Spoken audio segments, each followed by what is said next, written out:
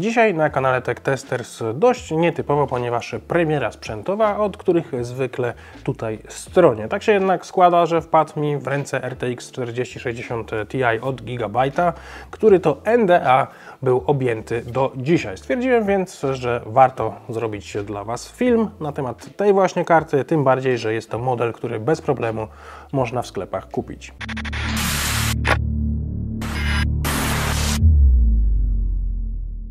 Cześć kochani, z tej strony Kamil, witam Was na premierze RTX 4060 Ti, dzień po premierze RTX 4060 Ti i na początek szybkie pytanie, czy chcielibyście więcej premier sprzętowych na moim kanale? Jeśli tak, dajcie znać w komentarzach, wówczas będę lobował do producentów, żeby te znajdowały się również na moim kanale. Jeśli uważacie, że jednak wystarczy na Morele TV, jeśli to pokryje, również podzielcie się opinią. No a teraz przyjrzyjmy się już dokładnie karcie graficznej, którą będziemy dzisiaj omawiać. Zanim zjecie mnie w komentarzach za wypuszczenie już drugiego filmu z fatalnie przyjętą kartą graficzną, chciałbym podzielić się z Wami kilkoma przemyśleniami już po premierze. Fakt, RTX 4060 Ti ma za słabą wartość w stosunku do poprzedniej generacji i biorąc pod uwagę cenę z jaką startuje. Bardzo fajnie, że Nvidia nie ruszyła tym razem pułapu cenowego i karta startuje z tego samego poziomu co poprzednik, ale wzrost generacyjny na poziomie 10 do 15% wydajności to zdecydowanie za mało, o czym wspomniałem w mojej recenzji na Morele TV.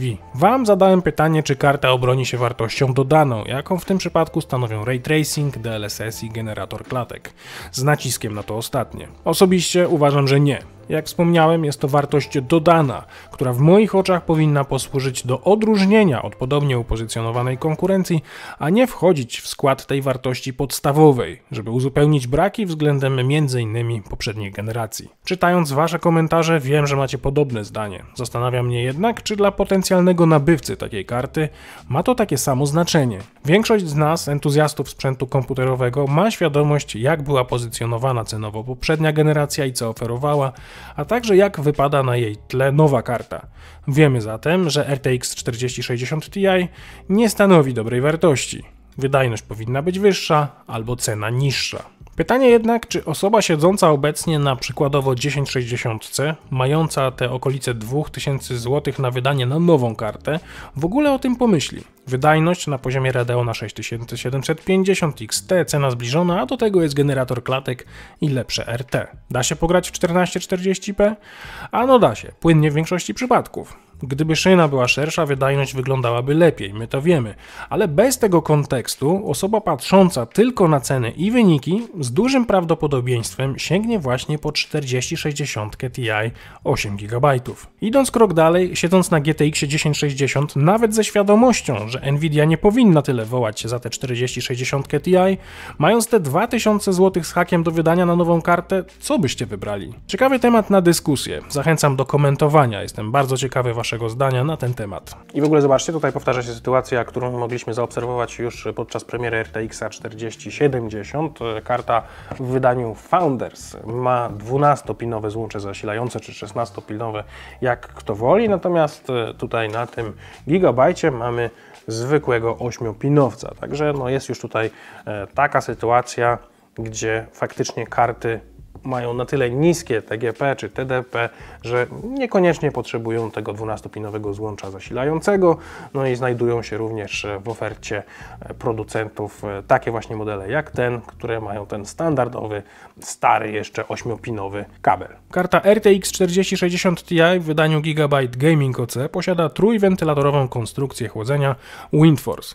Znane i lubiane powiedziałbym, ale z Windforce'ami różnie bywało. Jedne głośne, inne ciche, więc są znane, ale z tym lubieniem bywa różnie. Wszystkie efektywne, zgodnie z moim doświadczeniem, ale o kulturze pracy porozmawiamy za chwilę. Za odprowadzanie ciepła odpowiadają tutaj cztery miedziane ciepłowody połączone z pokaźnym dość radiatorem, wspierane trzema, jak wspomniałem wcześniej, 80 mm wentylatorami. Karta posiada metalowy backplate, ale służą tutaj bardziej wsparciu konstrukcji chłodzenia niż odprowadzaniu ciepła. Gaming OC wyposażony jest również w podwójny BIOS z trybami Silent oraz OC, a na śledziu odrobinę niestandardowo znajdziemy znajdziemy dwa porty HDMI 2.1 oraz dwa porty DisplayPort 1.4 zamiast zwykłego układu 3 do 1.